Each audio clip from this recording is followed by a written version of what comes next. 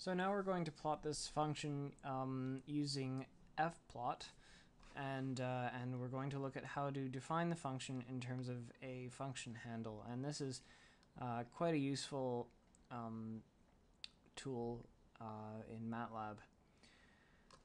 So let's switch over to MATLAB and uh, I will just run a close all to close all my figures and a clear all to just clear up my workspace.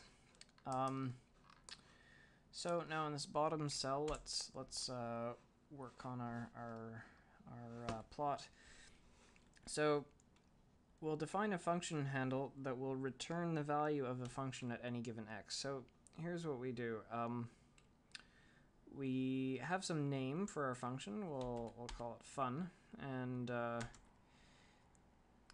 the way to define this is a function is defined uh, and, uh, using the variable x, and this at symbol says that the the x that appears here is going to be the input argument to the function, and uh, and it's going to return some value like say x squared.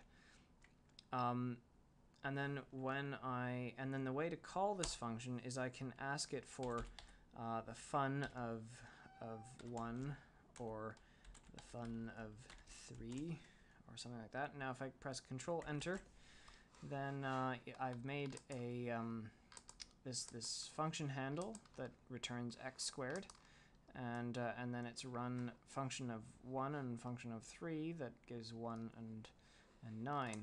Um, now I can basically put any any um, thing here that I that I wish. Um,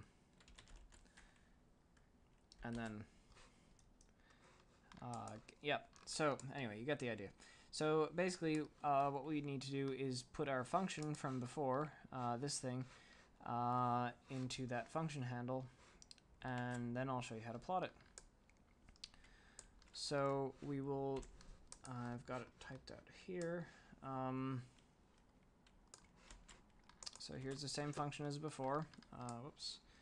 And um, and one piece of notation here is the the the dot dot dot, which tells MATLAB that this is continued over the line break. Um, so you can break up long equations that way, make them a little more easy to follow.